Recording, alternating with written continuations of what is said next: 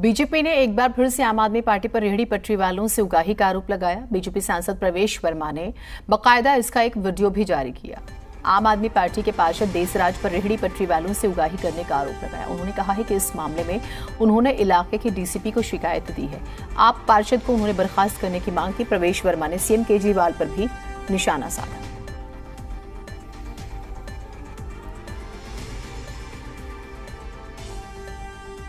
जब से एनसीडी की सत्ता में आए हैं, तब से आम आदमी पार्टी के लोग क्षेत्रों के वीकली बाज़ार में वहाँ के रेडी पटरी वालों से पैसे की उगाही करना शुरू कर दिया। इससे शर्म की बात क्या हो सकती है?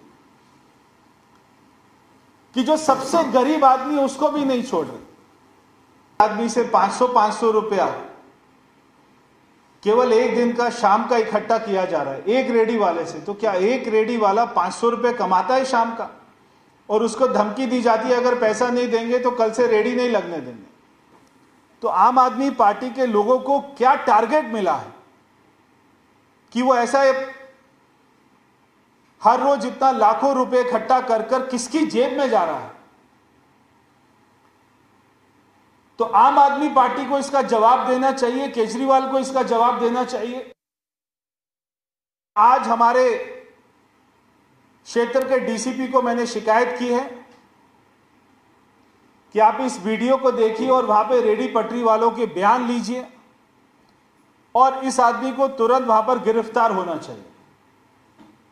और ना केवल वार्ड प्रेसिडेंट गिरफ़्तार होना चाहिए, बल्कि आम आदमी पार्टी को आज ही अपने निगम पार्षद को बर्खास्त करना चाहिए। इससे साफ़ साफ़ सबूत और क्या मिल सकता है आपको? तो दोनों तरफ़ से बराबर की राजनीति आरोप प्रत्यारोप हो रहे हैं। बलराम से शुरुआत करते हैं। आम आदमी पार्टी ने 12 बजे के करीब प्रेस कॉन्फ्रेंस की थी। बलराम, गन पॉइंट पर गवाहों के बयान लिए जा रहे हैं और ये सब इस वजह से हो रहा है क्योंकि अरविंद केजरीवाल का कद बढ़ रहा है। कुछ यही आरोप लगाए हैं संजय सिंह ने। डिटेल में बताइएगा।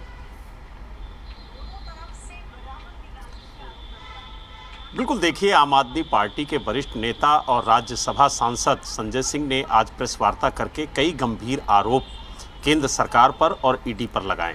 उन्होंने कहा कि जिस तरीके से जाँच एजेंसियों ने बताया कि 100 करोड़ का घोटाला, कथित शराब घोटाले के तहत किया गया है साउथ लाबी से 100 करोड़ रुपए लिए गए थे, लेकिन जब उस मामले की जाँच हुई और जब कोर्ट में सबूत पेश करने की बात आई तो वो घोटाला 30 करोड़ का हो गया। हालाँकि जब 30 करोड़ के सच पेश करने की बात आई तो वो घोटाला 6 लाख का हो गया।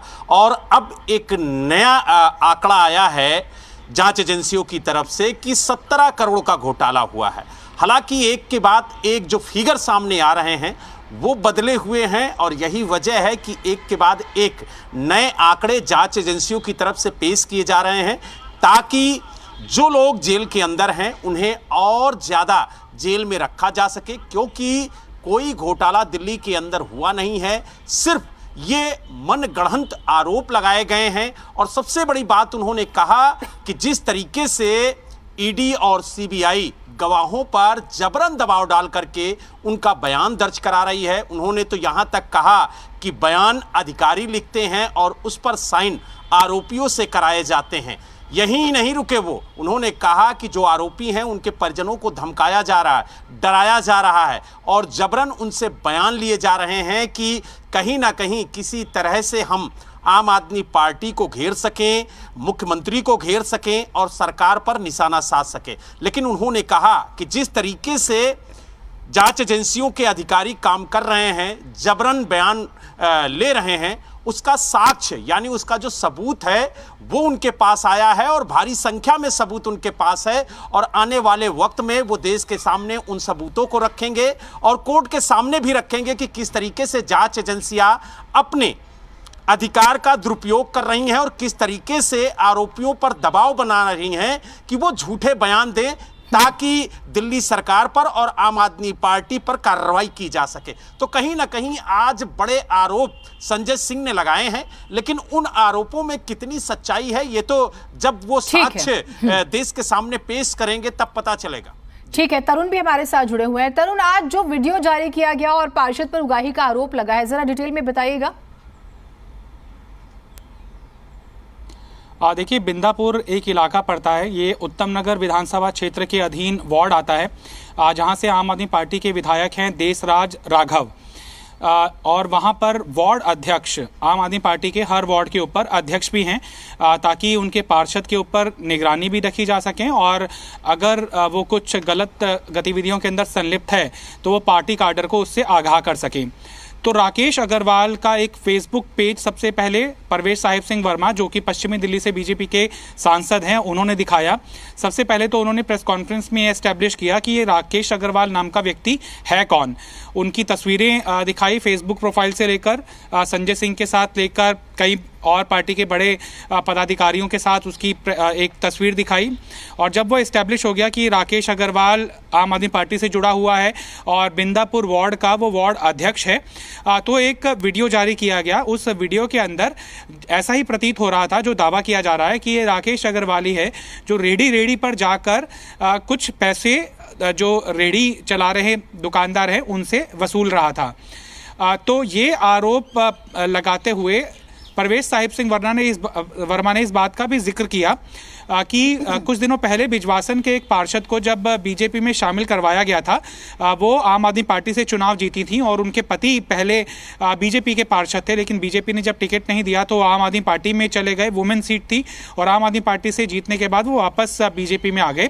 तब परवेश साहिब सिंह वर्मा ने आरोप लगाया था कि रेडी पटरी वालों से उगाही की जा रही है और दुर्गेश पाठक का उन्होंने नाम लिया था और उसके बाद मानहानि का मुकदमा लीगल नोटिस भेज दिया गया था आम आदमी पार्टी के नेताओं की तरफ़ से परवेश साहिब सिंह वर्मा को हम्म। तो सबसे पहले तो उन्होंने वो वाला इंसिडेंट बताया और ये वाला इंसिडेंट जब शेयर किया तो एक वीडियो भी साझा की जिसके अंदर राकेश अग्रवाल जो कि वार्ड अध्यक्ष है ताकि उनके आरोपों को वैलिडेट वो कर सकें और ये उन्होंने आ, कहा है कि राकेश अग्रवाल अपनी मनमर्जी से तो उगाही नहीं कर सकता है।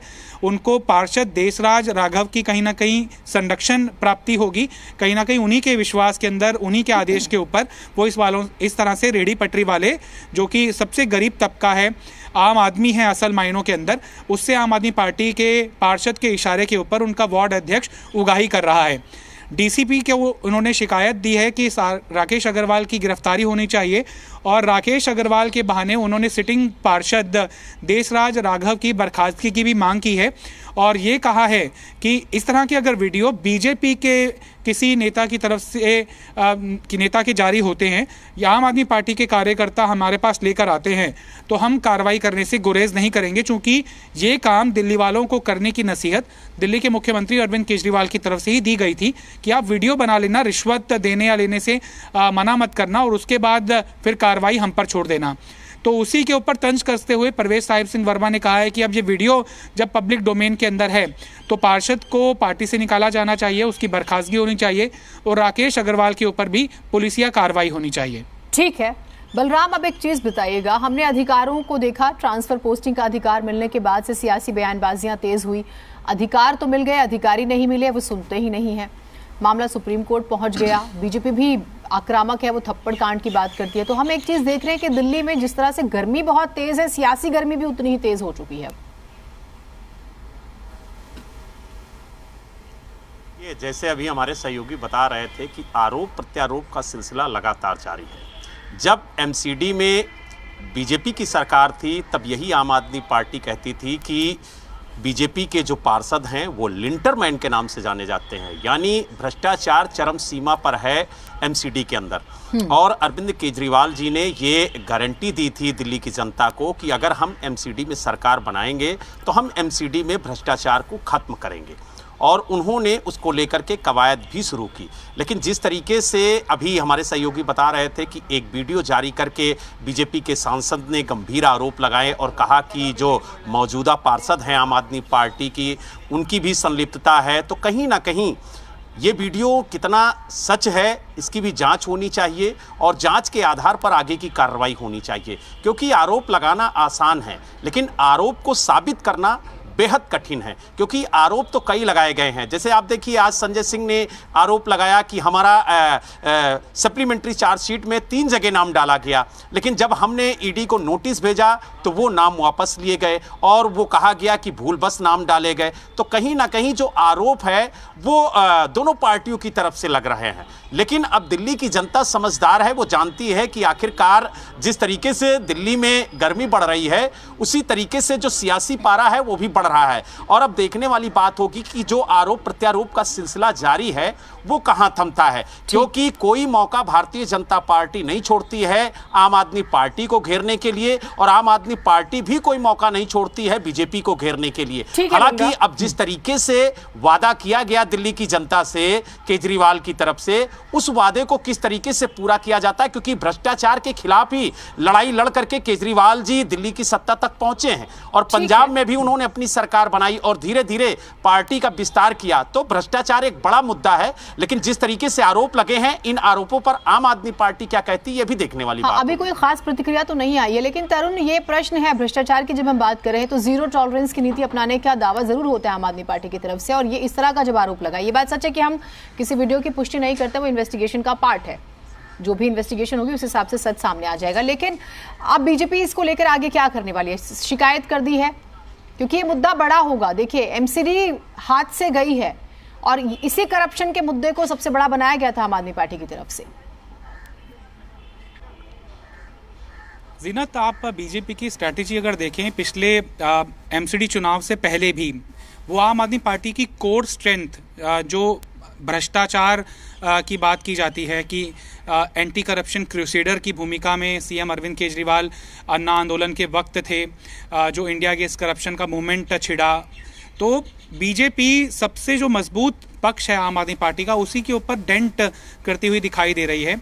ऐसे ही नहीं, आम आदमी पार्टी का इतिहास को दोहराने से उसे रोका गया है। अक्सर आम आदमी पार्टी या तो लैंडस्लाइड विक्ट्री दर्ज करती है, फिर या तो फिर लैंडस्लाइड फेलियर दर्ज करती है। ये पहला एमसीडी का चुनाव रहा है जब नेक टू नेक फाइट हुई है। और ये बावजूद उसके हुआ है कि 15 साल की एंटी इनकम्बेंसी बीजेपी के खिलाफ थी। उसके बावजूद 104 सीटें बीजेपी जीतने के अंदर कामयाब हुई है और 135 सीटों के ऊपर आम आदमी पार्टी को उसने सीमित कर दिया है। और एक प्रमुख जो इसका कारण रहा है वो ये है कि शराब घोटाले के ऊपर बीजेपी लगातार आक्रामक प्रदर्शन करती आई है आक्रामक आरोप लगाती आई है और उससे पहले जो सत्येंद्र जैन के वीडियोज़ जारी किए हैं तो कहीं ना कहीं जो आम आदमी पार्टी की कोर कंपिटेंसी है, उसकी सबसे स्ट्रॉन्ग पिच है। उसी को कमज़ोर करने की बीजेपी कोशिश कर रही है और अभी तक बीजेपी को इस पक्ष के अंदर इसलिए भी कामयाबी मिल पाई है कि एमसीडी के नतीजे इस और संकेत दे रहे हैं कि लगातार अगर प्रहार किया जाता रहा तो बैकफुट के ऊपर आम आदमी पार्टी को इस मुद्दे के ऊपर धकेला जा सकता है। और शायद यही वजह है कि ये एक बहुत बड़ा स्टिंग नहीं था या बहुत बड़ा वीडियो नहीं था।